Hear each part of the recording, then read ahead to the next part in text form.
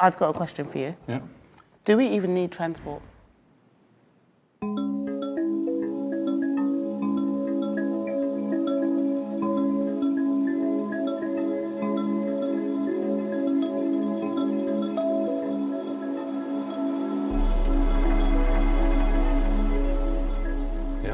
Trans- or transportation systems? Or transportation, yes. That's always a topic we should consider. Can we do this without having to move people and goods? But what happens when we don't move people and goods? Yeah. Yep. Like with the human interaction and that kind of thing. Yep. I think that's the danger of not having transport. I, I think transport it brings access to places and people when we're talking about people transport, and when we're talking about goods transport, it's uh, it's a lot of the supply of the necessities that we need. But I think we should question what we really need, because in reality, from a sustainability point of view, we are over-consuming. Yeah. So that what are the necessities that we actually need to transport? Uh, and then what we also should have, can we do it in a better way? Can we do it in a more efficient way? And that's where autonomous comes in. Could you give an example of how you're doing it at Scania in terms of looking at production and consumption and sustainability? It is difficult to electrify a truck today, a 40 ton truck that has a driver that needs to drive four and a half hours due to the working time directive. Mm. That's a lot of energy in a battery, which means that it's very tricky to electrify today. But once you remove the driver mm-hmm. or the driving part, that constraint of having to drive as long as you're allowed to mm. at very high speeds, you can start reshaping and redefining the way transport, the transport system is, is set up. And then you need different products. And I think the NXT that we showcased is a good example of thinking slightly out of the box. When you talk about sustainability, we're used to talking about climate and all that kind of mm. stuff. But we're trying to shift even more into that sustainability has to do with people, Yep. tech, and all the other aspects. And one of the initiatives that are coming out of the work that I'm doing is also looking at how are we using the things that we've already produced. We already have loads of trucks. Mm-hmm. We can't just get rid of them. But what we're doing, like these glasses are made out of, what was it, iPhone case, like glass, and like how can we reuse things that we've already done, and also how does that affect the people around us, not just people in Sweden, but the people that we're uh, affecting in Brazil, in China, and all the other industries that we're in. So like looking at sustainability from a broader perspective. So perspective. it becomes a global economic question, a conversation rather. I believe it does. exactly. And thinking that circular economy where you remanufacture and recycle, etc., and when you close the circle uh, on everything. You create that efficiency internally, and then you can build the same philosophies out to the places that you work. Yeah. Exactly. I thought it was really cool what you were saying before the interesting difference that we need to draw between autonomous and automated. Yeah. Can you help us understand that? I think it's, um, I mean, automation has been around as a technology for many years, and even in the vehicle industry, especially in uh, automated guided vehicles that we see in factories and in harbors, etc. But uh, a lot of that technology has is, is rather stupid. Uh, it follows a GPS track or magnetic strip or something, and when there's an obstacle, it stops and it calls for help.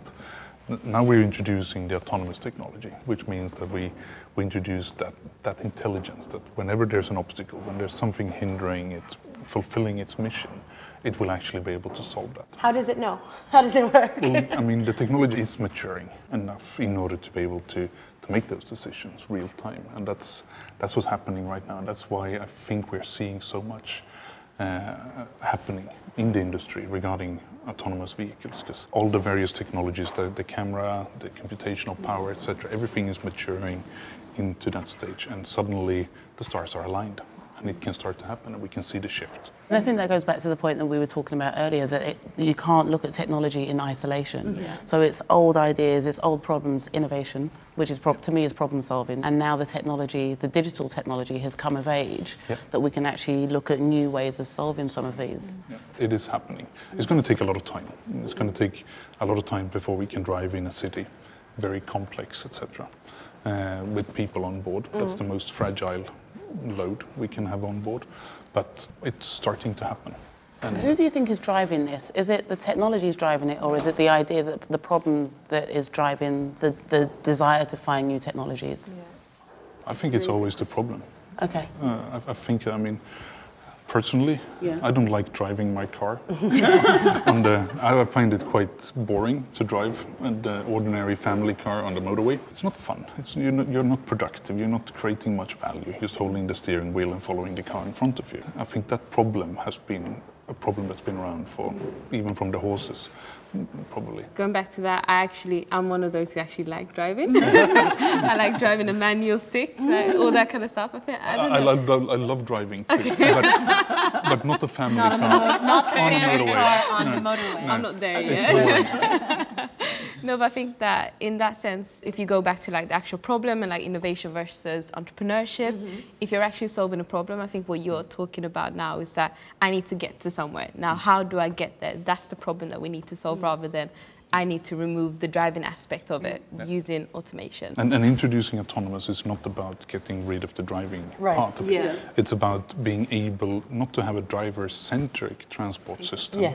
but rather having a flow-centric mm. transport system where you can create that access to places and people. Mm. But isn't there also an element of um, not so much fear, but the the fact that it's a bit, it's a bit like the future of work. Yeah. Mm. That technology will, artificial intelligence will replace a certain repetitive aspect of that. Yes. And if most people in the Western world at least get their sense of potential Yeah. Through work, mm-hmm. and that's taken out, mm-hmm. what's left? What do we call that? Yeah, if And how do we then ensure that people are still reaching that potential or that sense of enjoyment when we, t- we automate and take some of that bit out? when you start implementing that kind of thing, I know that a lot of people are really worried about is it going to steal all our jobs? Mm.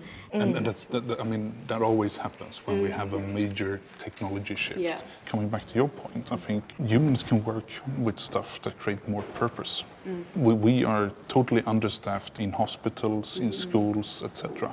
More people can work in those with the social interactions because that's where robotics and AI and automation doesn't come through. There's still a human element. If you go back to like automation and all that kind of stuff, if we have people, robots or whatever you want to call it, doing that kind of thing so that people can actually use their skill sets Skills. to do the things they're good at and Yeah. where they can actually contribute, I think that could be a real enabler. What about the question of whether people are ready to be met by a bus that has no driver? Do you think that, you know, what about civic trust? How are, how are we sort of, how are you approaching the challenge of, you know, maybe prejudices people might have about having a civic in- infrastructure where they can't always see a person? I I think that's one. That's a really good point. It takes time to create that public acceptance and the public trust. But at the same time, I mean, we are skeptical on the new technology. We're a bit mm. hesitant, etc. Mm-hmm. But for some reason, I never checked the status of a taxi driver. No. He could be on drugs. He mm-hmm. could not have slept for 36 hours. And this does happen with Uber, where you know things do go wrong, but we still use it. We, we are we apparently in some situations are willing to accept a certain margin of error in exchange mm-hmm. for convenience, mm-hmm. as long as we know what the recourse in the event of error is. Most people don't think about it, but when we cross the street today, we tend to look for the eyes of the driver, of the vehicle coming, whether it's a mm. bus or a truck or a car. We look for that interaction to see that, yes, they've seen me, they will stop. That's safe for me to cross the road. And um, that will take time. Vehicles need to communicate to, to the pedestrians and the humans in, in its surroundings that, yes, I'm safe, I'm aware of you, etc. How do you approach that? Like, is there going to be like visual communication on some of these vehicles so that we still have that sense of, of contact? Most likely, yes. Interesting. There's a lot of research ongoing in, in that human-machine interaction. It's interesting because I live um, in southeast London and we have the Docklands Light Rail, which is a electric train with no driver. And you used to just see the kids sitting at the front going, oh my gosh, there's no driver. Now I've got on there with friends who are my age, so in their 40s, and they're going, I want to sit at the front. Everyone wants to sit at the front. I want to sit at the front because there's no driver. And there's just You could pretend you're driving it. And there is this level of excitement going, I'm on transport that has no driver. I mean, there's conductors, you know, but it's just this, ooh. But do you find that the excitement of the light rail is more because it's on its own track and it's not really interfering with the rest of like Yeah, Knowing the that it's safe, knowing that nothing can Yeah. go wrong. Great But now it's gonna like it's gonna be with all the other cars and like where kids are walking, where cyclists are, and that's a whole different way of looking at it. I would assume. I was having a conversation with a, an, another futurist a couple of weeks ago who said that he puts more faith, he now puts more faith in artificial intelligence and technology mm. than in humans because of the, the difference in statistical error. Mm. And I just went, oh, I find, I, I you know, it gave me a real visceral response because we've been brought, you know, I'm human, I, I interact with humans, and the idea that somebody is negating all of that and saying, mm. well, the technology is going to be the thing that stops all of that, there's still a part of me that goes, where is the level of human interaction and responsibility within all of that? Mm. I I think we have to we have to use what humans are really good at, mm. Yeah, and what yeah. technology is really good Yeah. at. It could be that in some applications, artificial intelligence will be superior to our human intelligence. What do you think like the public needs or what do we people need in order to accept this? Like what would make our transition easier?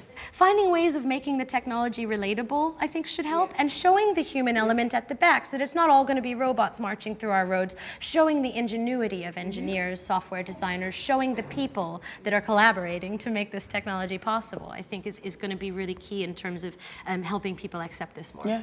And to add to your point, I think of starting where people are at. Yeah. So help making it relevant to them and their daily lives. And that then, you know, it's a slightly easier shift because they can see the benefit. The benefits, yeah. Yeah, so they can see the benefits for them, their immediate family, and their reality in you know in whatever space, whether city, urban environment. How is it impacting them, mm. and then how is it going to impact their relationship with their environment and their connection with their ability to connect with others and do the things that they need to do. Mm. And I think that's the starting point for telling the stories. Yeah.